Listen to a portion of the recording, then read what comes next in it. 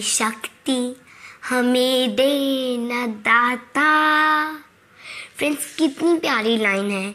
उस प्यारी सी प्रयोग से ली हुई ये प्यारी लाइंस और ये सच है कि वो ऊपर वाला ही, वो पावर हाउस है और हम उनसे शक्ति लेते हैं पावर लेते हैं किसी भी काम को करने की, किसी भी चीज़ को करने की हम पावर शक्ति उन ऊपर वाले से लेते हैं।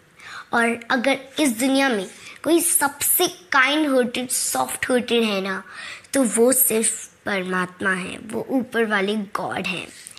वो हमारे हर सुख दुख में हमारा साथ देते हैं। और याद रखना, अगर हमारी कोई हेल्प करे, ना करे बट अगर हम उन ऊपर वाले पर सच्चे दिल से उन्हें याद करें, उन पर विश्वास रखें ना तो वो हमारी, हर सुख दुख में हमारी मदद करेंगे। इस पर एक छोटी सी स्टोरी आपके साथ शेयर करती हूँ। एक बार, अकबर ने बीरबल से एक सवाल पूछा और कहा कि इस दुनिया में सबसे बड़ा कौन है, मैं या फिर भगवान? तो बीरबल ने बोला कि आप महाराज। तो अकबर ने बोला कि तुम अपनी बुद्धिमानी के लिए पूरी दुनिया में जाने जाते हो, पर तुम इतने चापलूस कैसे हो सकते हो?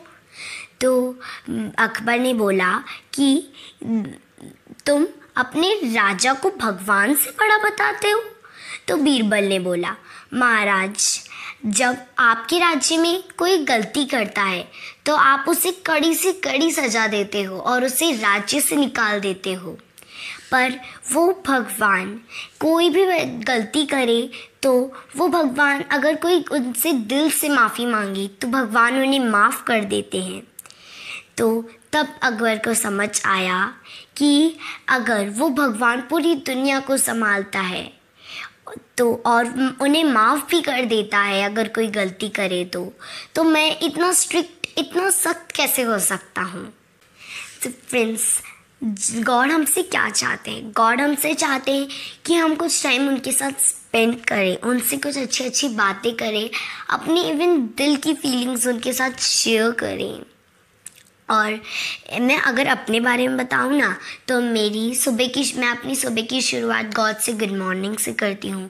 और रात को गॉड को गुड नाइट करना कभी नहीं भूलती। और मैं जो भी काम करूँ, उसमें गॉड को ज़रूर अपने साथ रखती हूँ, क्योंकि गॉड मेरे बेस्ट फ्रेंड हैं। और मामा मुझे हमेशा कहती हैं कि जहाँ का, कभी को, आपको कोई हेल्प हो और मम्मा पापा भी जहाँ पे आपकी हेल्प के लिए जल्दी नहीं पहुँच पाए ना तो सिर्फ़ गॉड ही है जो आपकी हेल्प ज़रूर करेगा, करेंगे। तो मैं अब गॉड को अपने, हमेशा अपने साथ रखती हूँ और वो एक प्रोटेक्शन लेयर की तरह हैं। और मुझे अच्छे से याद है कि when I was in first class second class तब मैंने God is my best friend पर एक पोएम बोली थी और उसमें मैं क्लास इवन इंटर क्लास में भी मेरे को फ़र्स्ट प्राइज़ मिला था। क्योंकि वो मेरी दिल की फीलिंग्स थी, मेरी एक पोएम ही नहीं, बल्कि वो मेरी दिल की फीलिंग्स थी।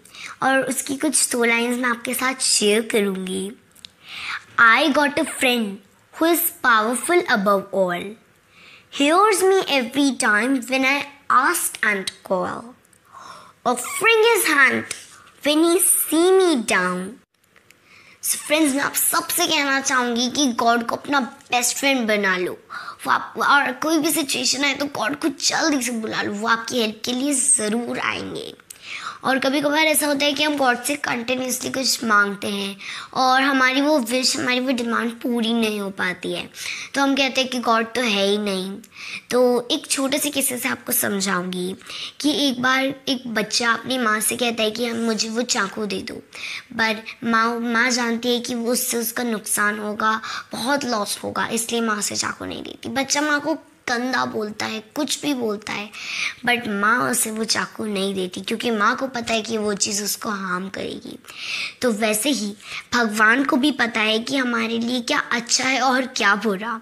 तो भगवान भी हमें वो नहीं देता जो हम, हमें अच्छा लगता है, बल्कि वो देता है जो हमारे लिए अच्छा होता है।